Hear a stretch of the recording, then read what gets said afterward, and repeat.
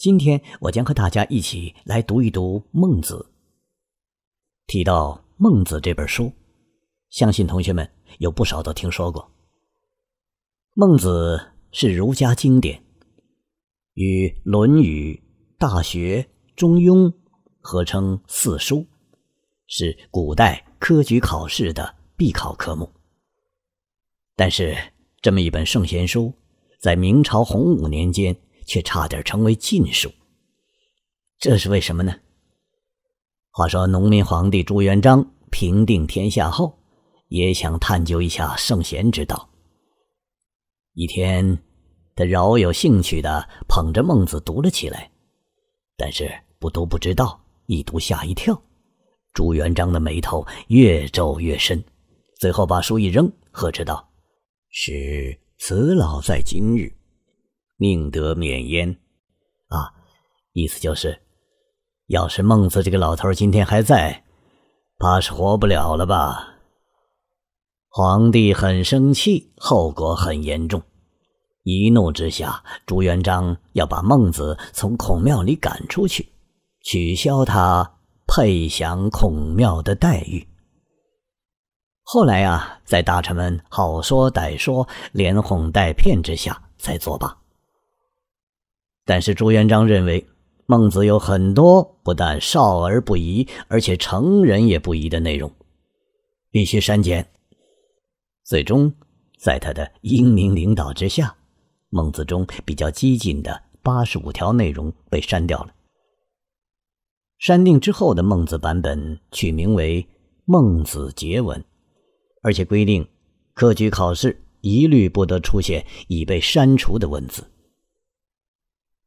在古代封建社会，帝王们一直尊奉孔孟之道。朱元璋为何会对孟子有这么大的意见呢？原来呀，朱元璋读孟子心得体会就一条，那就是孟子的很多观点太不像话，非臣子所宜言。很多话。不是做臣子的可以说的。比如说，孟子居然说“民为重，社稷次之，君为轻”，也就是说呀，和人民国家相比，皇帝你算老几呀？孟子还说：“君之视臣如土芥，则臣视君如寇仇。”啊，国君呢，要是拿臣子当粪土，臣子呢？也会拿国君当仇人，这也和当时一般提倡的“君要臣死，臣不得不死”的观念明显不符。这些话在没有多少修养、又极为专制的朱元璋看来，简直就是眼中钉、肉中刺。他的做法呢，也很简单粗暴，一个字：删。不过呀，帝王的权力虽然很大，但是。文化呢，却更有力量。朱元璋去世之后，这本怪胎式的《孟子结文》彻底烟消云散，而孟子的光辉则一直照耀到现在。那《孟子》究竟是一本什么样的书呢？《孟子》一书共七篇，三万四千多字，主要记载的是孟子师徒的言论。这本书谈人性。讲修养，论求知，教人伦，尊圣贤，说王道，内容十分丰富。里面的文章流畅犀利，机智善变，感情充沛，气势恢宏，逻辑性极强，是先秦散文中最出彩的作品之一。总之啊，读孟子那是好处多多，既可以用于政治，为万世开太平。也可以用于修身，动心忍性，涵养正气。听完这本书之后，同学们可以对以下几个问题有一些更清晰的认识：第一，孟子为什么会被称为亚圣？第二，孟子的政治理想为什么难以实现？第三，什么样的人才是真正的大丈夫？现在我们提到儒家呀，往往孔孟并称，一位是至圣先师，一位是亚圣。他俩是儒家最好的两位学术代言人了。但是孟子在当时啊，那只是孔子的一个小迷弟，是不敢以圣人自诩的。孟子是孔子的忠实信徒，偶像都不以圣人自居，孟子更不敢造次了。但他对孔子的崇拜是无以复加的。他曾经由衷的赞叹：“自有生民以来，唯有胜于孔子也。从有人类以来啊。”还没有过像孔子这样的圣人呢。他表示要以学习孔子为平生志愿，乃所愿，则学孔子也。孟子出生的时候，孔子已经去世一百年，孔门弟子呢也没活着的人了。孟子不无遗憾地说：“与未得为孔子徒也，与私书诸人也。”我没有能成为孔子的门徒，我只是私下得益于他的传人而已。按照司马迁的说法，孟子授业于孔子的孙子子思的门人。这么看来，孟子虽然不是孔子亲收的弟子，但也算是他的再传弟子了。所以啊，终其一生，孟子都以传承和发扬儒家思想为己任。事实上，到了孟子的时代。儒学已经有些没落了，而杨朱学派和墨家学派正红得发紫。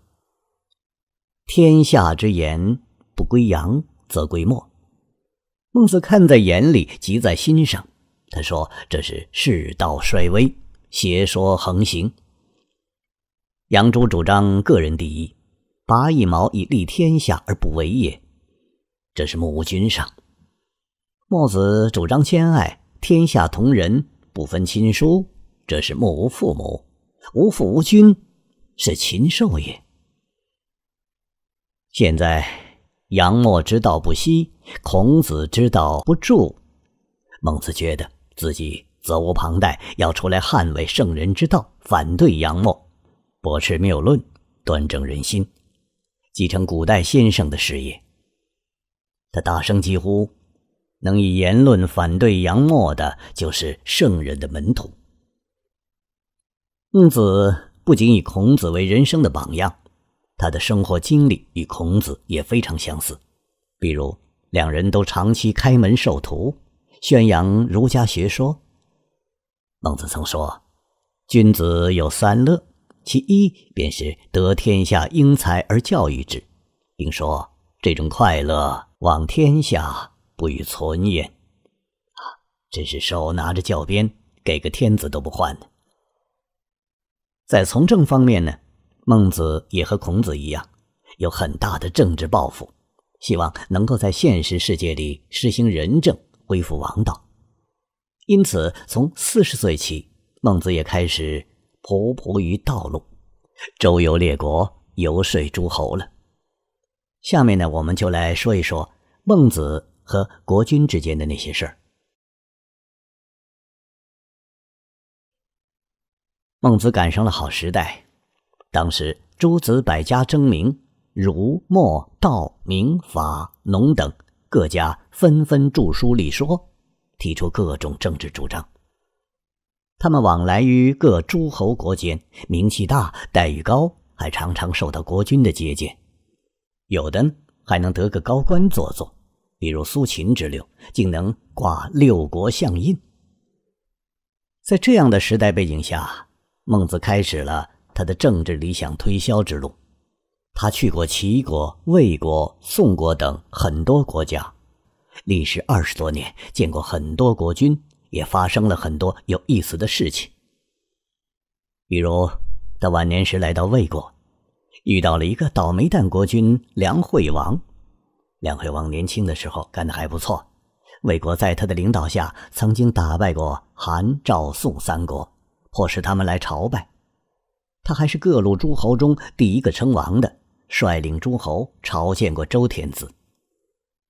不过到了晚年，梁惠王就每况愈下了。魏国东败于齐国，太子都牺牲了，西边又割让给了秦国七百里土地。为了避风头，不得不把都城迁到离秦国远些的大梁。南边又被楚国抢去了八个城池，这实在是奇耻大辱。所以孟子来魏国时，梁惠王心情很不好，对孟子的称呼也很随便，说：“叟不远千里而来，亦将有利于吴国乎？”老头啊，你有啥富国强兵的好办法吗？孟子也很不高兴，直戳戳的说。王何必曰利？大王何必说利呢？并且明确指出，上下交争利而国危矣。上上下下都相互争着要谋利，那国家就危险了。司马迁读到这一段的时候，废书而叹，说：“利成乱之始也。谋利确实是一些祸乱的开始啊。”但他也承认，自天子至于熟人，好利之弊，何以易哉？从天子到平民老百姓，都爱好谋利，这样的弊端，哪有什么不一样的呢？那孟子给出的药方是什么呢？仁义而已，只有仁义罢了。当然，孟子并不是不要功利，而是反对一开始就谈利益。梁惠王听了这话，觉得很委屈。他说：“我治理国家已经很讲仁义了。比如，河内遭了饥荒，他就把一部分百姓迁到了河东，还把河东的粮食运到河内。河东遭饥荒的时候，也是按同样的法子办的。其他国君可都没有像我这么为老百姓着想的呀。但是。”他们的百姓并没有减少，我的百姓也没有增加，这是为啥呢？孟子给他打了个很有名的比喻：两军对垒，战鼓刚敲响，双方刚交战，一方就弃甲而逃。有个士兵跑了一百步才停下，另一个跑了五十步才停下，以五十步笑百步。则何如？逃了五十步的人讥笑逃跑了一百步的人，行不行呢？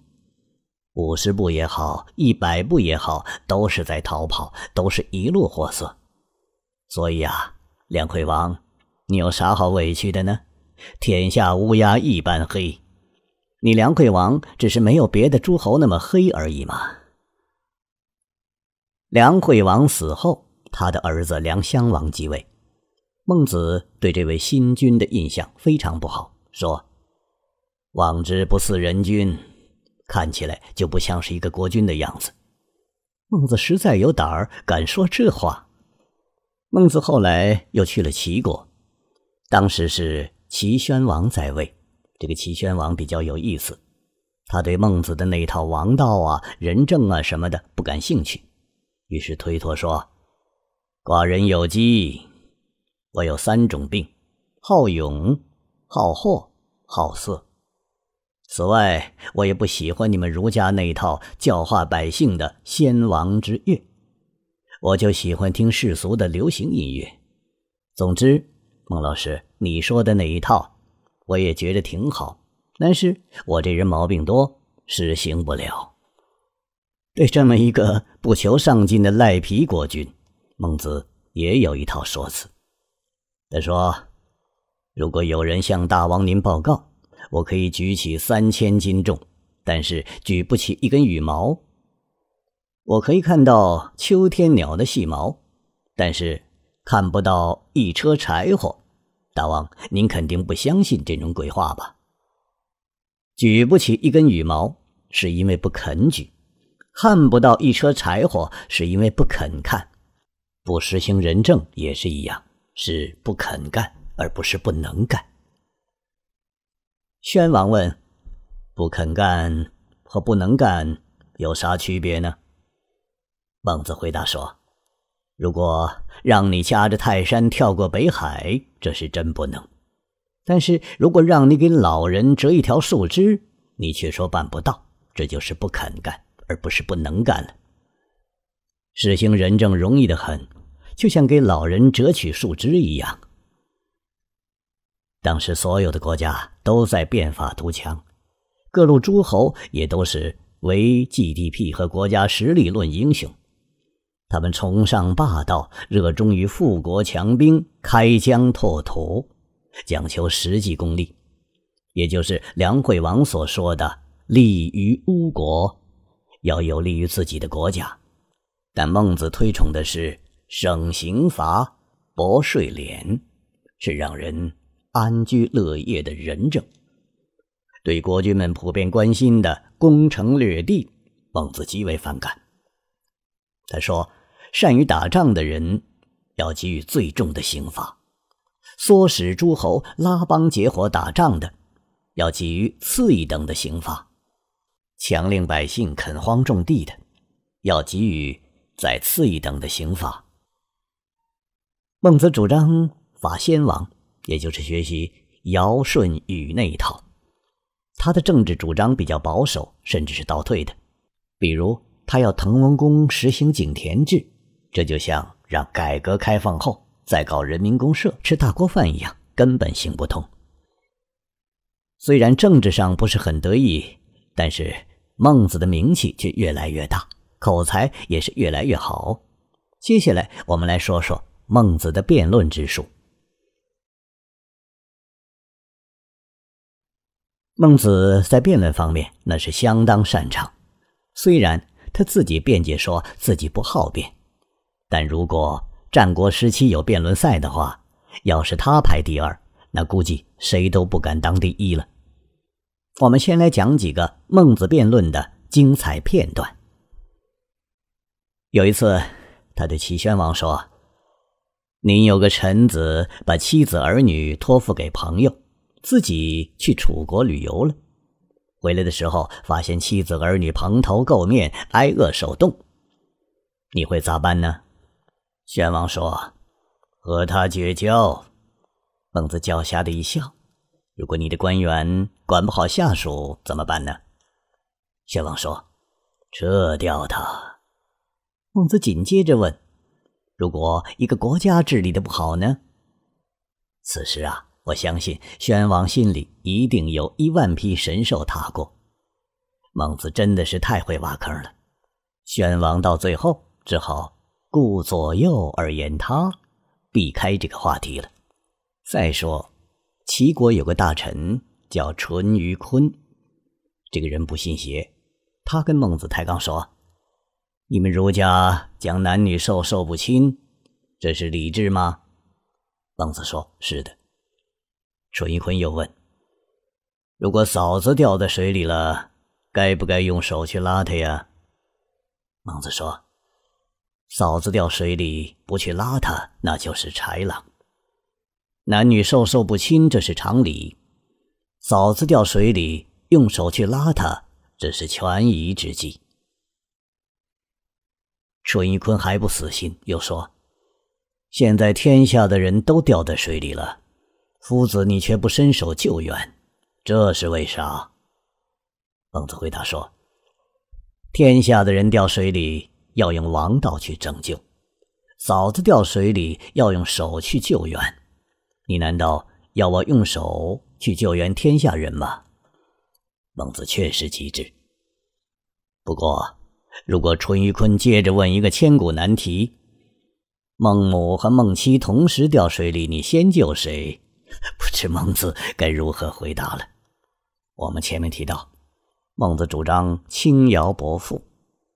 宋国当时有个官员就对孟子说了：“夫子，你说的农业税抽十分之一，还要免除关税和商品税，这个今年还办不到，但是可以先减轻一些，来年再说，你看行吗？”孟子又打了个比喻，回答说：“现在有个人每天偷邻居家一只鸡，有人对他说：‘你这么做不是君子之道。’”偷鸡贼说：“我先减少一些，从每天偷一只改成每月偷一只，等到明年再也不偷了。”孟子的意思是，如果知道这种行为不合道理，就应该赶紧停止，为何还要等到来年呢？最后，我们再来看看孟子是怎么教他的学生辩论的。有时候，他的弟子在外面被人家问住了，他也要给支招。比如，有人问他的学生说：“礼节和食物哪个更重要？”学生说：“礼节。”那个人又说：“如果按照礼节去找吃的，就会饿死；而不按照礼节找吃的，就能吃饱。那还要一定按照礼节行事吗？”如果按照礼节迎亲，就娶不上媳妇；而不按照礼节迎亲，就能娶上媳妇。那还要不要遵守礼节呢？这个问题刁钻，两头堵，学生实在答不上来，就跑来问老师怎么办。孟子回答说：“这有啥难的呀？你得具体问题具体分析。比如，一般来说，金子比羽毛要重要，但是你能说？”三钱金子比一大车羽毛还重吗？标准不一样，是没有办法比较的。这样，你先回去问问他。如果扭着兄长的胳膊抢他的食物吃，就能得到吃的；否则就吃不着。你会无礼到扭兄长的胳膊吗？如果爬过东邻的墙去搂抱人家的女孩子，就能得到妻子；否则就得不着。你会无礼到？去搂抱吗？通过上面这样一些例子，咱们可以看到，孟子说起话来那是滔滔雄辩，非常犀利，很有感染力。这不是简单的学习辩论技巧就能够达到的，更不是油嘴滑舌、强词夺理，而是有深厚的人格修养做支撑的。所以，接下来我们讲一讲孟子的修养功夫。我们知道，《三字经》的头一句是“人之初，性本善”，这说的就是孟子的人性本善的思想。孟子说：“如果有人突然看到一个小孩子要跌到井里去，任何人都会有惊骇和同情的心情。这种心情的产生，不是因为要和这个小孩子的家人攀交情，不是为了要在乡里获得好名声，也不是因为讨厌小孩子的哭声。”这是所有人都有的不忍人之心啊，也就是怜悯别人的心。在孟子看来，人生来就有恻隐之心、羞恶之心、辞让之心和是非之心。这四心就是仁义礼智四端，也是人与生俱来的善端。但是，如果人性本善，那为什么世上还有那么多的恶呢？孟子认为，虽然人人都有善端，但是这善端只是一点向善的端倪和萌芽。如果不好好的呵护，就会被外界蒙蔽，人就会变成禽兽。所以，要存其心，养其性，要以仁义存心，养心，也就是我们常说的做人要有良心。这个是人所要关心的大事。孟子批评世人，往往小事清楚，在大事上却很糊涂。他说：“家里的鸡狗走失了，人知道去寻找；而自己的良心丢失了，却不知道去寻找。因此，存心养性，要先立乎其大，也就是要先把良心立起来。举例说，如果有个园艺师，舍弃梧桐紫树不管。”而去培养酸枣荆棘，他就是个很差劲儿的园艺师。如果有人光注意美甲而忘了肩头脊背，自己还不明白，那就是个糊涂蛋。对于一个人来说，从其大体为大人，从其小体为小人，不要以小害大。